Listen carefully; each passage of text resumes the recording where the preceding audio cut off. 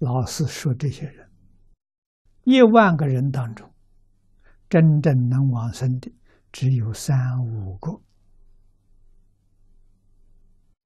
六十年后的今天，我说一万个念佛的人，真正能往生只有一两个，不是三五个，一两个。为什么？心术不正念佛求生净土里头还掺杂着贪嗔痴慢，还有这个念头，还有自私自利的念头，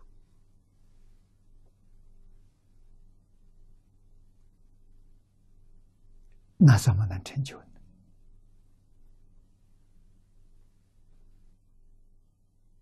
啊，几个人认真反省，我天天所做的事情，哪些事情是善的，哪些事情是不善的？善的要继续，不善的要改正过来。没有人认真反省，那为什么自己迷了？自己做错了的事情，是以为是善，以为是正常的，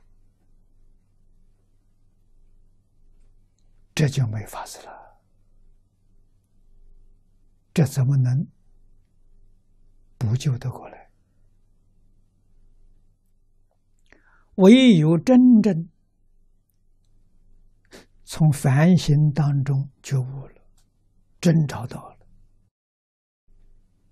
啊，改过自新，